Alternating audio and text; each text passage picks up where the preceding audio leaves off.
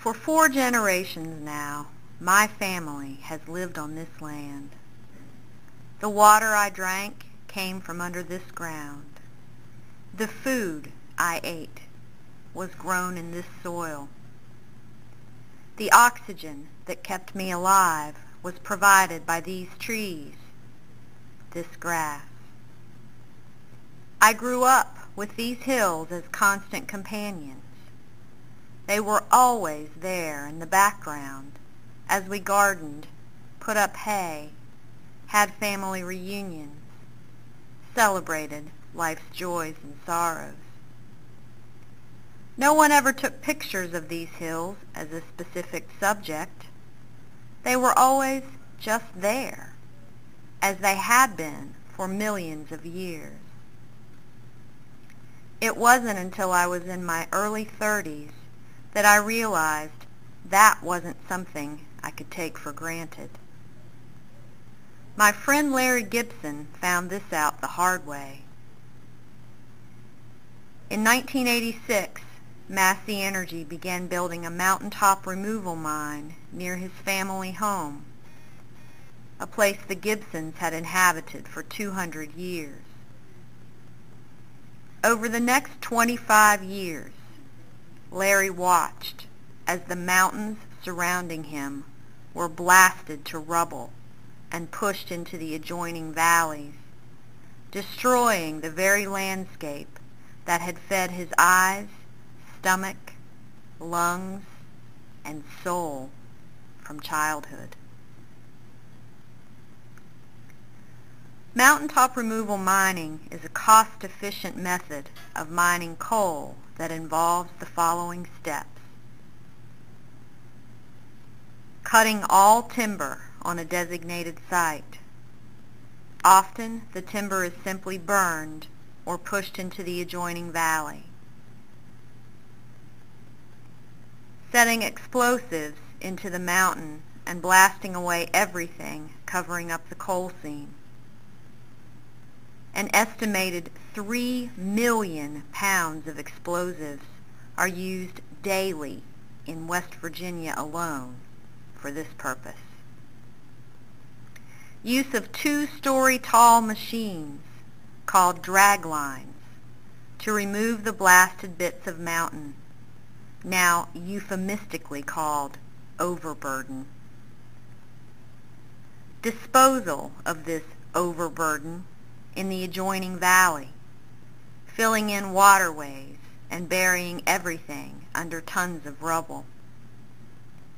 An estimated 750 miles of stream have been buried in West Virginia alone. Removal of the exposed coal seams via dragline and truck. Reclamation of the site often using non-native plants and grasses chosen specifically for their ability to grow in the rubble left behind. Larry Gibson has not gone quietly. He has been arrested. He's spoken out, written letters, joined protests, met celebrities, given interviews, and hosted countless groups of people on his property, which is now surrounded by a wasteland of bare rock and rubble. I visited Larry's home, Kayford Mountain, with my father, then 75, and three close friends. Together, we followed Larry up the path through the woods to the edge of the site as far as I could see in the distance, was a landscape that I can only compare to pictures I've seen of the faces of other planets, one devoid of any plant or animal life, water source, or discernible feature. It tore at my guts. It made my heart ache, and tears came to my eyes. As I watch my state being torn apart by the debate that rages around this practice. As neighbor once again turns against neighbor, I wonder. I wonder how we as a nation will confront the ever-expanding demand for energy. How will we as a state deal with the consequences of those decisions? What is the answer? As I look to the future, everything is uncertain. Everything except that sick feeling I got in my stomach as I looked at what they'd done to Kayford Mountain. The musician Steve Earle says, you can't always believe your eyes. It's your heart that sees through all the lies. There has to be a better way.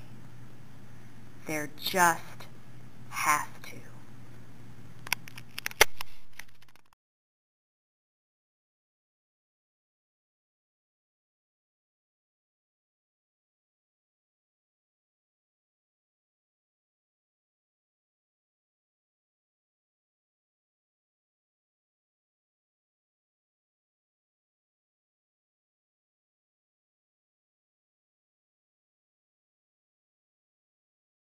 got about what 22 minutes to talk about this issue, and I have on my right Laura Stevens, who's with the Beyond Beyond Coal campaign uh, with uh, Sierra Club here in Oregon, and that's probably a national as well. Yeah, that's right. Yeah. And yeah. then and then you were brought along um, Carol Ross, who recently was living in West Virginia, and is going to make a little personal testament to the mountaintop removal.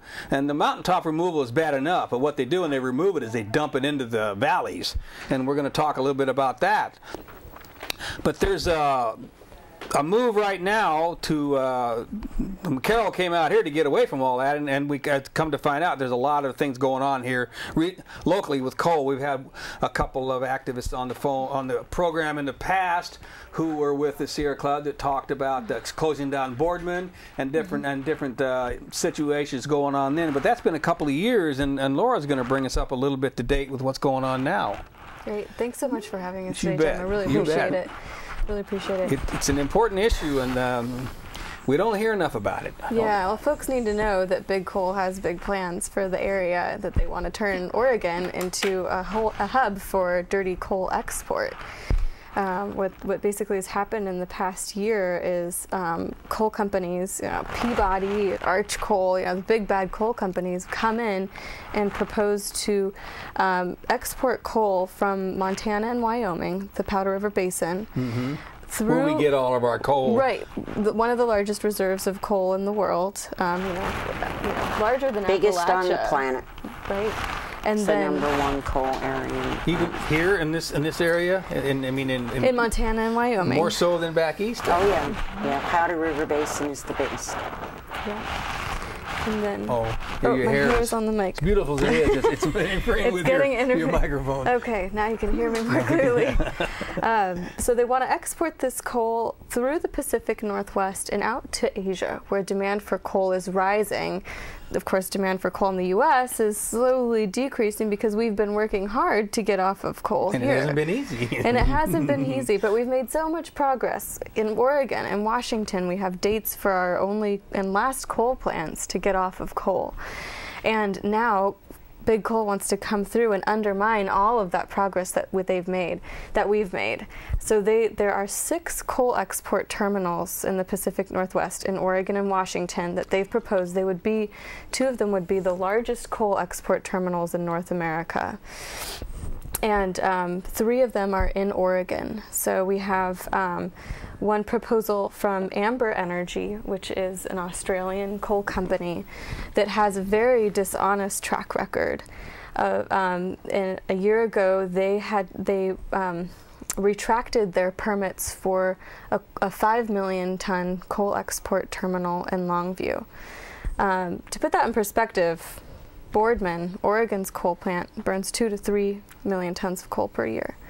And so, how much was the so original? Five, five. So it's larger. It's more than we burn in Oregon every year. But we found um, our, our legal team found internal emails saying, um, "Don't tell anyone, but don't tell the community. Don't you know because they, they'll be upset." But we actually intend to export 25 to 60 million tons of coal per year.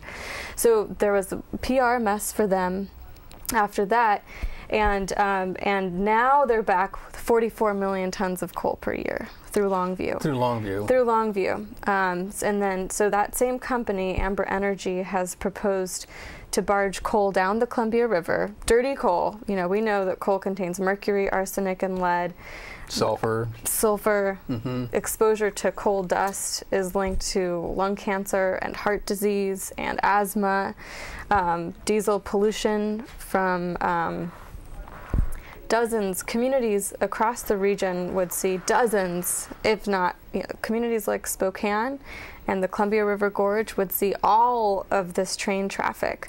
So dozens and dozens of coal trains uncovered. Uh, Carol has a really great picture of what This this, looks like in West Virginia. Last weekend, I don't know that it's. Oh, I'll hold it up and see if we can Yeah. get something out of this here. I mean, make sure I don't get it upside down here. This is they may just- be able to grab that on In my fact, camera. this train is going is export. This is going to Norfolk, Virginia, and out to Asia.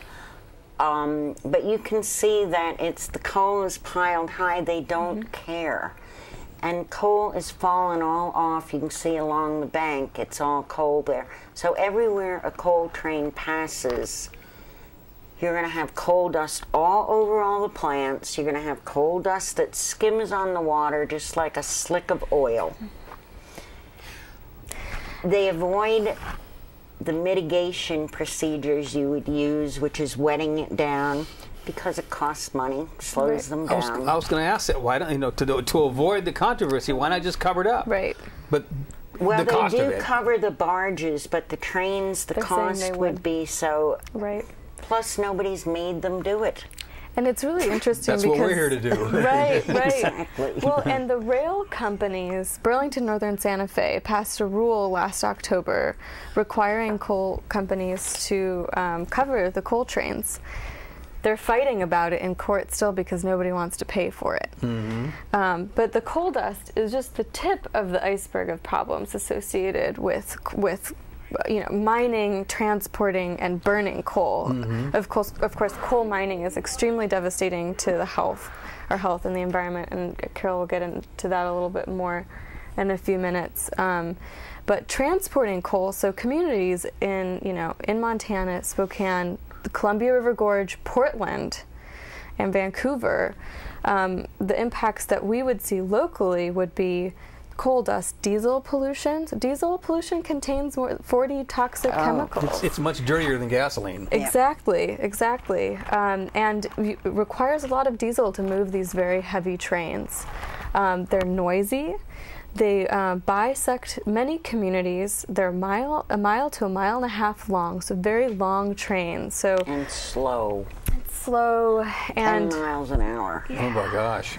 so folks that live on the other side of the tracks, that means that emer- you know emergency vehicle access is very much an issue. Um, commuting to work, and my commute to work was you have to wait, to, you know, wait. You come off of the I-5 and have to wait there by OMSI for a train to pass There's going to be a lot of them too. Yeah, yeah, and our and our rail infrastructure is a very valuable way for us to move goods, and we'd like to move more people on our rail system, um, and we should be dedicating it to you know productive, um, you know progressive causes rather than clogging it up with coal trains. Um, other And, and this is all to bring coal to other countries. to other countries, correct. Um, the health impacts continue. We know that up to a fifth or more of the mercury pollution that we see here in the Willamette River, for example, comes from abroad. Mercury pollution. That's from coal plants abroad that are burning coal. That's circling the planet and the, the pollution. Atmosphere. Yeah, yeah, and most of it comes from Asia. rain. Yeah. Yeah, acid rain is another issue. And climate change. Coal is the leading contributor to climate change. And, um, and the scale of these six coal export terminals of 150 million tons of coal burned per year. Um, it outweighs the climate impacts of the tar sands Keystone XL pipeline, which is enormous in itself. which Right. is enormous in itself. So we need to we need to get stop all of these fossil fuel export projects, and we need to keep keep it in the ground. Um, and we have a responsibility here in the Pacific Northwest to make sure that that coal stays in the ground and does not get burned abroad. Mhm. Well, this is the, Yeah. this is the a front line in the in the battle to to save the planet. Then Yes. it's a little dramatic, but that's what's going It's on. this is the Yes. key. The Northwest is the key to it all, really. Yes. Yeah. Yes. That- And, and uh, what are the five cities? Is Longview, yeah, Bellingham. Longview, Bellingham. So actually, I've got the map right here. If, if this is not too It might be too small Too here, small, but but yeah, that's a little bit small. Okay. So, so what you're talking about is Bo- Boardman, So now yeah. Coos Bay, St. Helens, which already okayed this. That's what I understand. Port of yeah. The, and Longview too. Didn't The mm, no, not quite yet. They they did once, but then that when they Okay. yeah, then they had to retract it.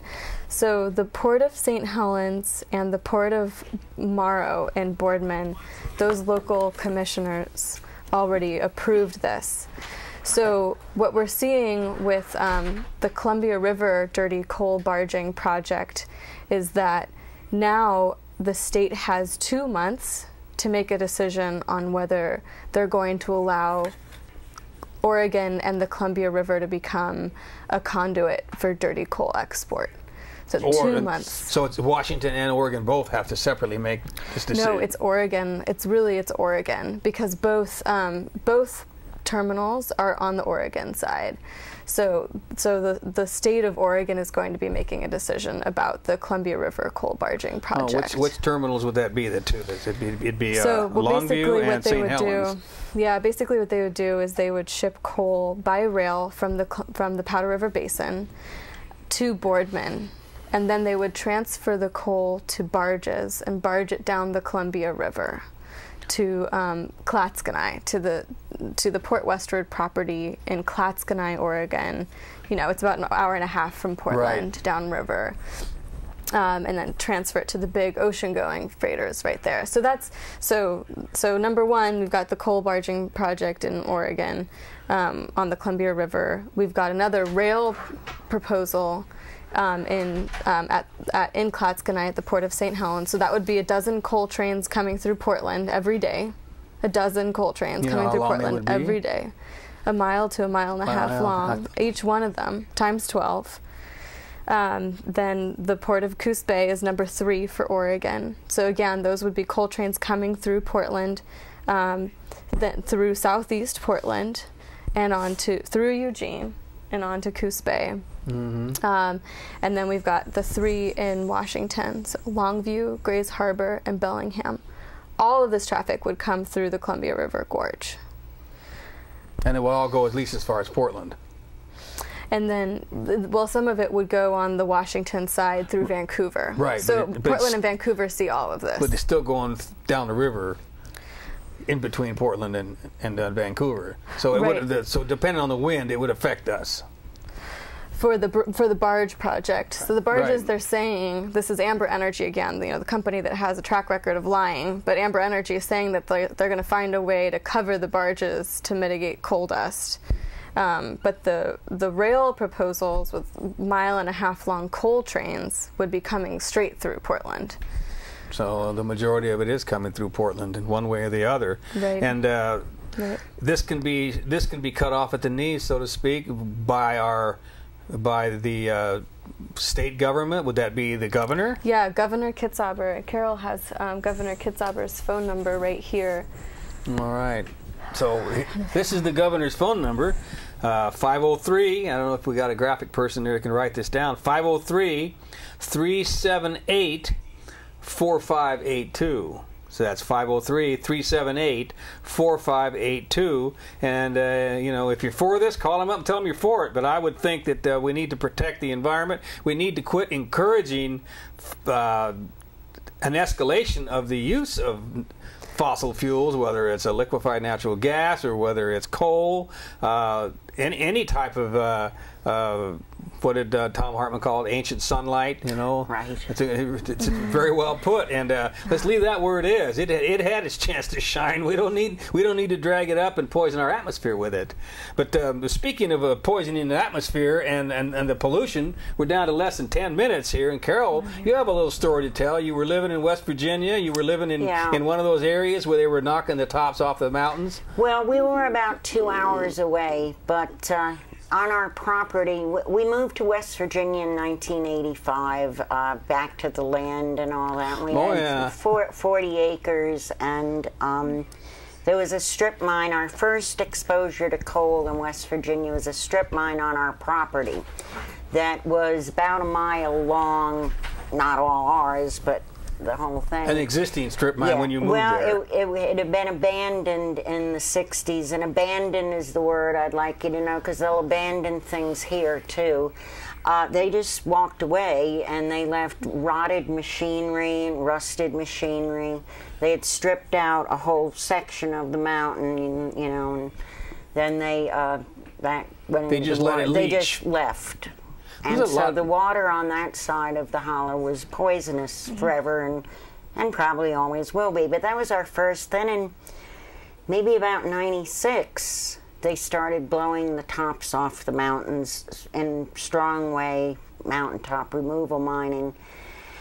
And we got involved in, you know, going to see that. We've been to many, many mountaintop removal mines, but we've seen coal up close fr- from the mining, which is done illegally.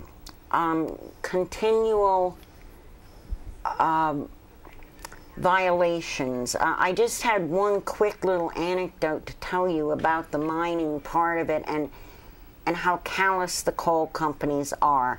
Yesterday was the second year anniversary of a major coal mining accident in West Virginia at Upper Big Branch, where 20 mine, 29 miners were were killed and uh, they sealed it yesterday. They sealed the mine. They had candles and they had prayers and they had all kinds of politicians and ceremonies. And I read the article about it, and at the very end of the article, it says. Uh, talking about why this accident happened, the company failed to conduct adequate inspections, intimidated workers to prevent them from reporting violations, tipped off crews to surprise inspectors, the report found. The state investigation found that the mine lacked adequate ventilation. Water sprays on equipment were not properly maintained and failed to function. The mining company didn't meet federal and state safety standards for the application of rock dust, a crucial tool in keeping the hi- highly volatile coal dust from exploding. 29 men died. Everybody cried yesterday. They didn't have to cry. They could have done what they should have done. And they'll, they'll be the same way here. They are a, a money making bunch that really is soulless. They have blown up the Sierra Club magazine this month, just happens to have an article on another part that we've seen of the mining, and that's the mountaintop remo- removal mining. Mm-hmm. Where they blow everything up, all the animals, and they call the top of the mountain, they call the mountain overburden. And they push this. Which means the mountain is the waste. The mountain is the waste and the animals on the mountain, and they push this whole thing down into the creeks below where people's drinking water is.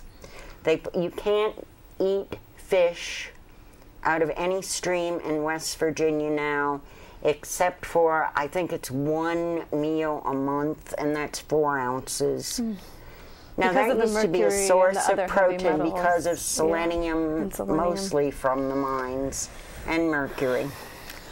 Um, we've also seen the transportation of coal, and I've I've shown you the picture. Mm-hmm. This is exactly what's going to go through the Columbia River and is going to go through Portland with coal, filthy, filthy, greasy coal all over everything. Oh, killing plants.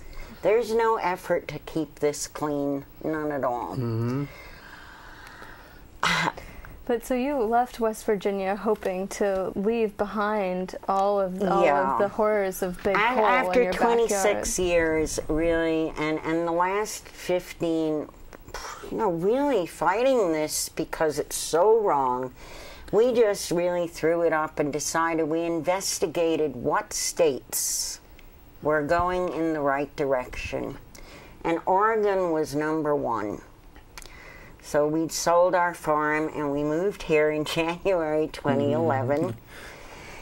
And um, About the time this stuff started kicking off. Right. then. Well, we didn't know anything about it. You know, I went almost a whole year, and then my birthday this year, we drove up to the St. John's Bridge, and we drove through Longview, and so beautiful. And I saw a train, and I said, "I'll never have to see a coal train oh no! Oregon." Oh no! Yeah. And Well, you it may was not still. two weeks later, in January of this year, that I picked up a paper and it said the first one that Clatskanie had confirmed yeah. that they wanted this. And that's when I got involved with Sierra Club again. Well, we're getting back to Sierra Club. We got a little, little under three and a half minutes.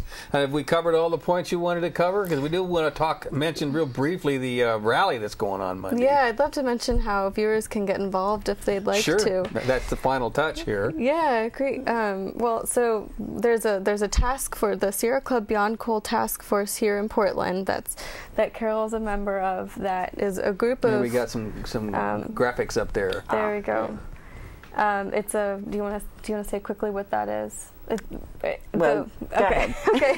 The Sierra Club Beyond Coal Task Force meets monthly every fourth Tuesday of the month at the Sierra Club office over at East Burnside and, and 18th. Um, and they can email me um, uh, laura.stevens at sierraclub.org or give me a call 503-238-0442 um, to ask about to, to to get involved with that task force. So it's a it's a group of concerned activists and citizens. Um, and um, upcoming this Monday, we are getting together in Salem to tell, you know, to call on Governor Kitzhaber to reject coal in Oregon.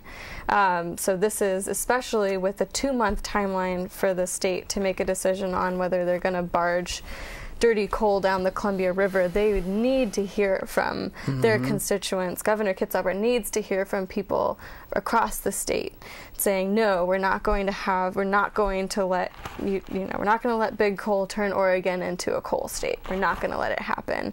Governor Kitzhaber, we can do better than dirty coal. These are hurt better than this. We and we're promised better than this. We're promised better than this, and we we've done such a good job leading the nation towards a you know building up a clean energy economy. We can do better than this. So uh, the rally is in Salem this Monday at nine o'clock um, at the Department of State Lands building. Uh, that's at 775 uh, Summer Street. Right, it's it's the main street that goes south through Salem. That at the far end of it is the is the uh, Capitol building. Yep. So that main street that goes down that Summer is, it goes down uh, Yep. uh, to to the uh, Capitol building. It's right along there. Yep, yep. Um, so 775 Summer Street, Department of State Lands Building at 9 o'clock. And um, it's, uh, we'd love to have everyone there. And, um, and uh, we'll be leave, meeting at the Sierra Club office at 7.30 in the morning to drive down to Salem together. All right. So, yeah. So people yeah. need to get up early Monday morning Yeah, if they're, if they're not go. going to work. You know, get up early in order to uh, to to take a swing and, and get the governor on board with this because this is horrendous. We, we've we've only got 30, 30 seconds left. You've heard the, the horror story from Carol. Uh, it was a different type of coal. Uh, travesty but uh, there's another one heading heading down to this state as well and, and we need to we need to deal with it. I want to thank both of you for coming on and talking about this. This, this is a, a very educational people need to know about it. I want to thank the crew they've done a great job you know bouncing back and forth between these two segments. Sometimes it gets pretty difficult but uh, it was important to bring these two messages out and uh, a little a little uh, thing for people to think about how these two different segments were connected because they really are. So we'll, we'll see you next week